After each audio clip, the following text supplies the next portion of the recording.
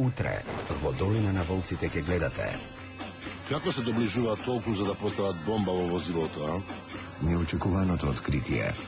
Јас не верувам дека е Искендер Бујук. Ќе го натера агентот. Милош нема системот. Премногу внимание привлековме, не ја прислушкуваат куќава. Да ја предизвика конкуренцијата. Кој си ти да ми кажеш што е вистина што лага? Не ме интересира. Сакам развод. Долина на волците. Заседа. Утре во 22 часот.